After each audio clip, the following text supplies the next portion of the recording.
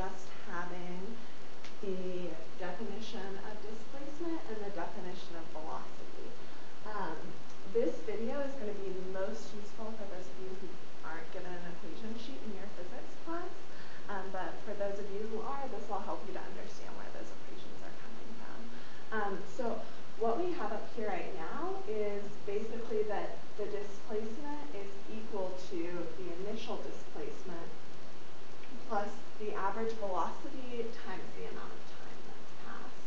Um, and we have basically the same thing, but that the final velocity or the velocity at any given time is equal to the initial velocity plus the average acceleration multiplied by time. Um, basically, for all of your physics classes, acceleration is already going to be an average number, so we can just cross that average part out and put that that's going to be acceleration, and that's how we'll use it in these videos. Um, so knowing these two equations, um, we can get to other equations that we might want to use. So fairly often, we're going to want to know a displacement given an acceleration, and we aren't going to want to have to use both of these equations.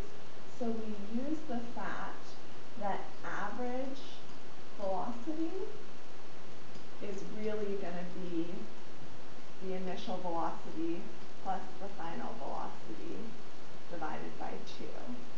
So we plug that part in for average velocity into this equation. Um, and occasionally you'll be given an initial velocity and a final velocity over some period of time. Um, say that you're starting here and you just have, you know that you start going 5 miles per hour and you finish going at some other velocity, let's say 10 miles per hour. Um, and given that acceleration is linear, which it always is, um, for our applications, we just want to know the final displacement, and we can figure that out by plugging these two into there and knowing the time that it took us to get there. Um,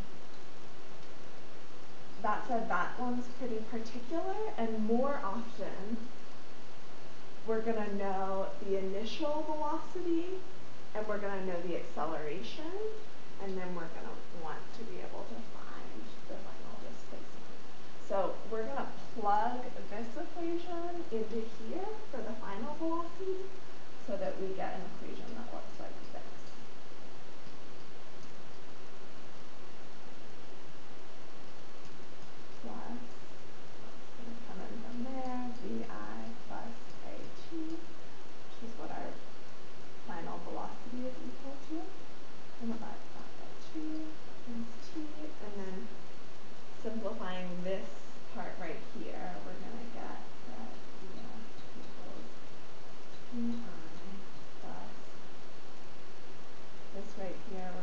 2 vi divided by 2, so that's going to be vi times that t.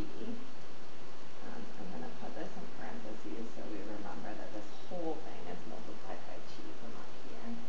Um, and then we have 1 at, so that's going to be 1 half times a, and then that t times t is going to end up with t squared. And this equation right here, you're probably going to use fairly often. Often you won't see it with the initial displacement there, just because we're only going to want to know how far we've gone. So we just call wherever we've started basically zero. But occasionally, um, you'll have you'll want to know how far you are from something else, and you'll start here and then go some distance and want to know how far you are here, and that's when you have to include that di. Um, so that's basically our first equation, um, and that's how do you get from these two down to there.